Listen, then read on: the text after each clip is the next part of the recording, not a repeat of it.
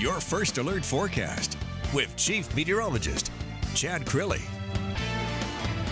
We were spoiled this weekend with comfortable conditions area wide. Temperatures were warm, yes, in the 90s, but dew point stayed on the tolerable side.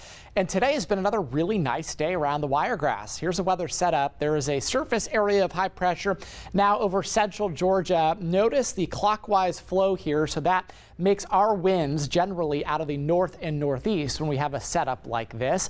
And that northeast breeze continues to pump in at least fairly dry air. Pretty active weather, though, as we head north across parts of the country. Check this out. Excessive heat warnings from Illinois into Iowa, parts of Minnesota as well, and the pink severe thunderstorm watches. As that heat builds, strong to severe thunderstorms moving across parts of the upper Midwest. So that's where all the weather is, along with the jet stream carrying any major storm systems, keeping us dry for the foreseeable future.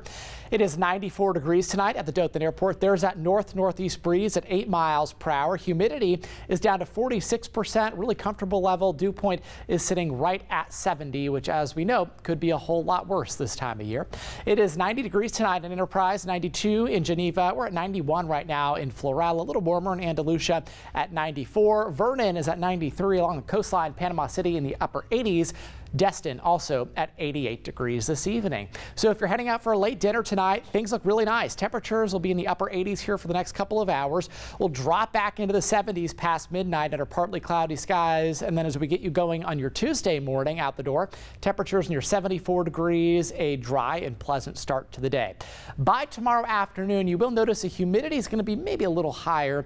It also temperatures climbing a few more degrees.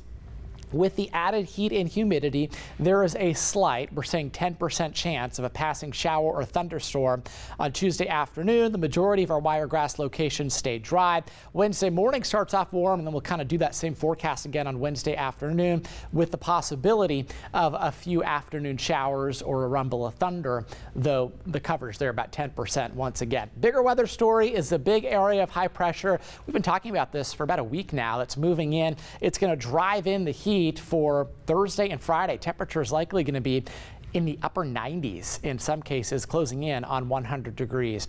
How about the long term as we head into September, particularly September 1st through the 5th? This map from the Climate Prediction Center, and they're suggesting above normal temperatures will continue across the southeast. So summer is not breaking anytime soon. 97 on Thursday, upper 90s, close to 100 again on Friday. By the weekend, that ridge of high pressure breaks down a little bit, so we'll lose a few degrees. Then Labor Day, your holiday is looking warm. Temperatures in the mid 90s and a 30% chance of an afternoon shower or thunderstorm.